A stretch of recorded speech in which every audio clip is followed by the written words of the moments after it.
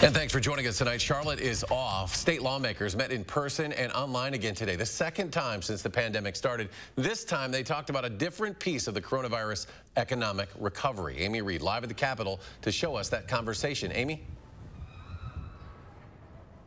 From the beginning, the chair of the committee that held this meeting said if you're here to bash the governor, you're in the wrong place. But people there couldn't help but be critical, not of the governor, but of his plan to reopen the state's economy. If you want zero risk, then you'll have uh, zero economic activity.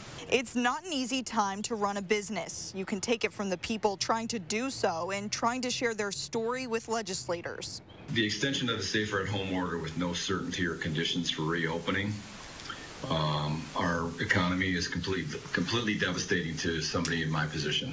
Listening to their stories is what this group of lawmakers is here to do. Getting perspectives of businesses who are as busy as ever. Tim Metcalfe, the president and co-owner of Metcalfe Markets.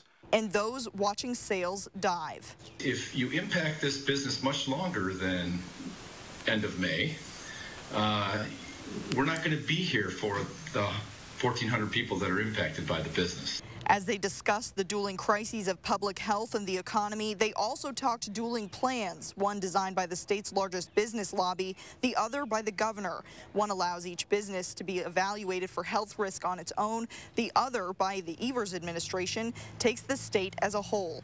Wisconsin Economic Development Corporation CEO Missy Hughes described it like a relay. Critical teamwork is required to assure a smooth transition from one runner to, to the next.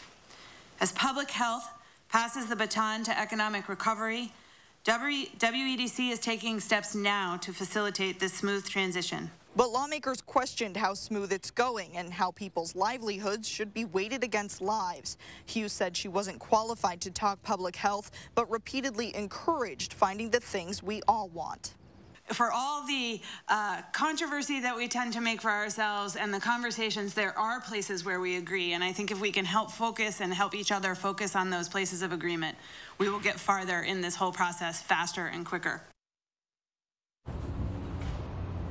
This meeting was scheduled as an informational hearing, but there's a hint that a bill could be coming from what was discussed today in a response filing in the state Supreme Court.